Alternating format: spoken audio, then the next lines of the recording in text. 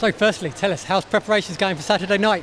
Yes, I have, I have prepared for this fight for over a month, and I have my last three weeks in Phuket at, at Attacker Muay Thai. So, yes, I, I have been uh, sparring, working with all, all the good fighters from around the world, it, like yeah, Russians, etc. so, this is gonna be good. I'm, I'm so ready after last time I lost. Uh, so this time I don't just care about to get back to win.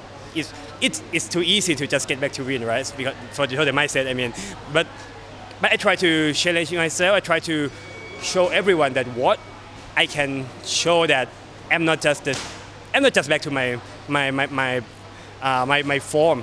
I just I'm getting better. I want to show that. I was going to ask you about that last fight. What have you learned from that fight? Uh, for the last fight, I got some problem about my, my style because it's the first time I, it was the first time I, I, I, I fought a very very high level fighter from, from Russia and he's a good grappler, he's strong wrestler, got um, strong hands. So my, my, my mind just too, too confused and I, I, it's like I, I'm not really understand about myself. So this time I spend more time to understand about my form, myself, my weak point, my mistake and and this time I try I try to bring the, the best out of me. We're talking opponents. What do you know about this opponent, Rahul Raju? This is debut in one. Have you managed to watch any of his fights? I have been watching his, uh, his fight before, and he's very good. He's a good scrambler. He's always he's always want to scramble, even on feet or on the ground. That's the same style with me. That's a problem. So and he's taller. so I hope my experience is gonna help because I have I have more experience. I I'm, I I think that I have more stuff in my arsenal, and the other, the only one thing I know that his name is just the same name with the son of Buddha. So I like oh. Buddha bless. Don't be too nice to him inside the cage. Uh, pardon? Don't be too nice to him inside the cage. I hope so, yeah. But he's good. He's nice guys, and, and but in but in that cage, we we can't be so nice, but actually from the last fight, we, we are so nice. To, I was so nice to my, to my opponents, right? And he's the same. We like friends, and every time we punch on each other's face, like, yeah, that's a good one. But I know for, for the fan, they can be like, what are you doing, sparring or what? But yeah, in the fight, we always focus on fighting more, and this, this time, we just focus on fighting. How easy is it to turn that switch to go from a nice guy yeah. to punching your opponent in the face?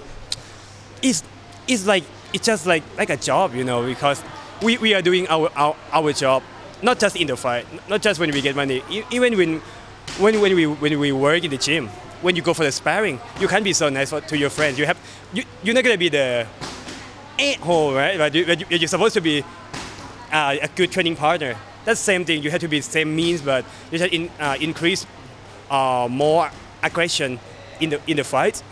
I think, and yeah, I think to to, to give it 100% is is how you pay the respect to your to your opponents to to your co-worker. yes.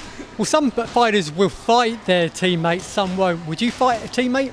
Uh, t- t- sorry. Would you fight a teammate? Team? You mean my teammate or his? Yeah. Would you fight one of your own teammates? Um, I actually I never fight my, my own teammate before. Yeah, actually no, but but but maybe I can say like eight or ninety percent of my fight I, I, I fight uh, all, all, the nice all the nice opponent.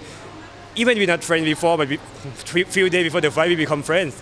so maybe that's the same feeling, but for the teammate that's gonna be something different because you know everything. You know about each other. You know everything. You you may have something in your mind like in the sparring you can't pass through this this struggle and oh what's gonna happen?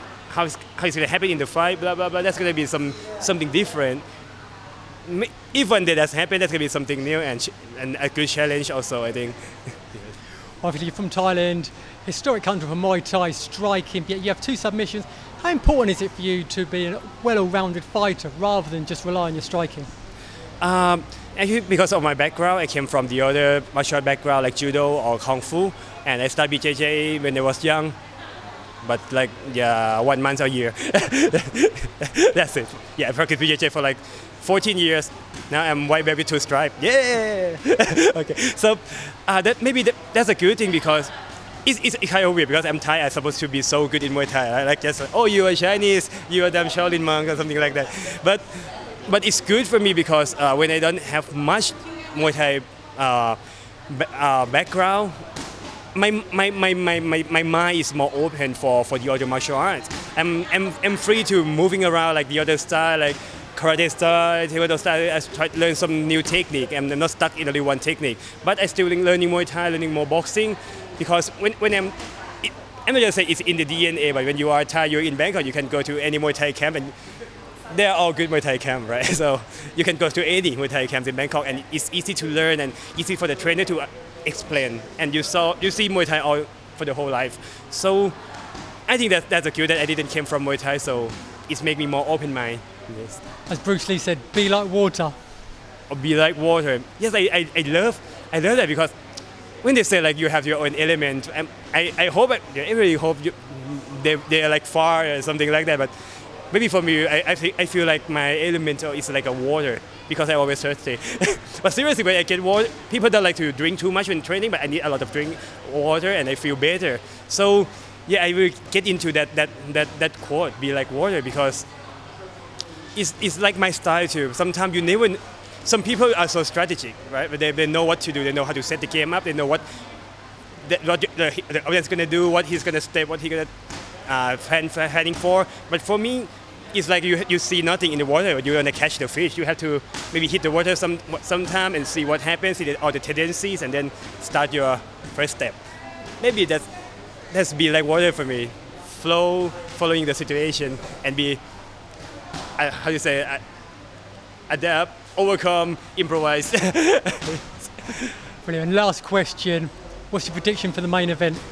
For the main event, actually first I'm so sad because if I won the last fight, I'm gonna be there with Martin, right? But but but when I see that Martin gonna be here with Bibiano Fernandes, I, I just like okay, forget me. I, I forget that at all because that's a historic historic moment.